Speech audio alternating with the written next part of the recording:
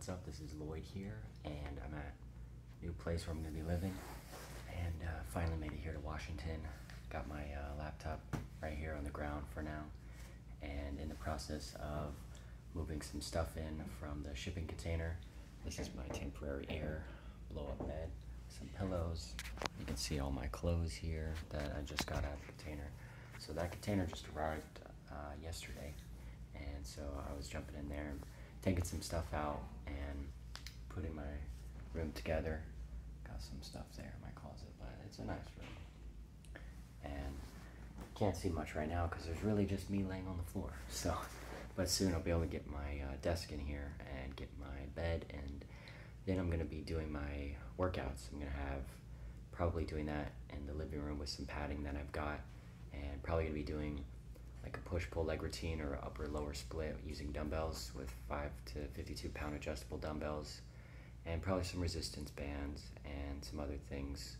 But I'm probably not going to be able to put up my home gym my power rack at least here um, just because it's a hassle to put up in an apartment type complex. And I'm on the ground floor thankfully but it's just uh, for now since I need to get my strength back and everything I'm gonna do the dumbbells and my adjustable bench and I'll be able to get a lot of good workouts with that doing like Bulgarian split squats and chest press and shoulder press and all that.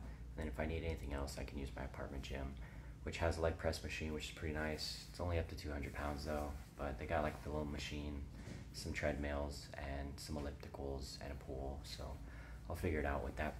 But that'll be cool little community area for extra conditioning and some accessory movements like if I, if I want to do face pulls or you know any sort of tricep or bicep moves or use any chest machines that they have there it's pretty much just cable uh, resistance moves but it goes up to 200 pounds on those and I'm excited to do the leg press really and I've done that a few times already and I've been here about a week or so and the calf raises on the leg press machine is pretty fun too but like I said it only goes up to 200 pounds which it's you're gonna max that out pretty quickly but you know, for now, it's good. So I hope you all are doing well, and I'll try to do more videos soon.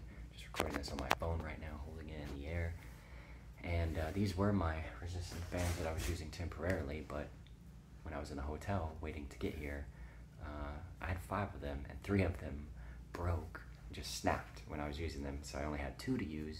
But I've been doing some P90X3 workouts. I did total synergistics the other day. That was good. And doing some ab workouts and just trying to get my body used to moving and lifting weights and stuff. So probably be good. And I can already tell that my arms are filling out again and my abs are filling out just from like working out for like a few days, you know, muscle memory and everything's kicking back in. So that's good. So I'll keep you all updated. Hope you all are doing well and I'll see you in the next video. Peace out. Take care.